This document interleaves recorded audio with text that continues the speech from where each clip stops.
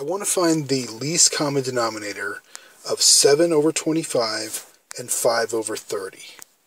So I first write the denominators out, 25 and 30.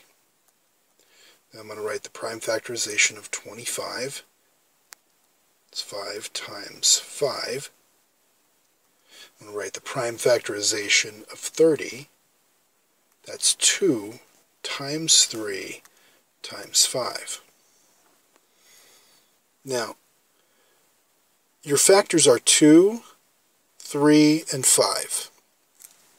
The greatest number of times that a 2 occurs is right here, just once.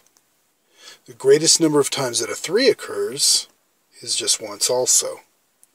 The greatest number of times that a 5 occurs is right here. It occurs twice. Okay, we can write the least common denominator now. Least common denominator is the product of those numbers that I have circled.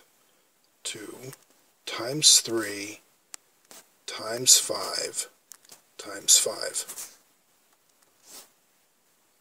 This is 6 times 25.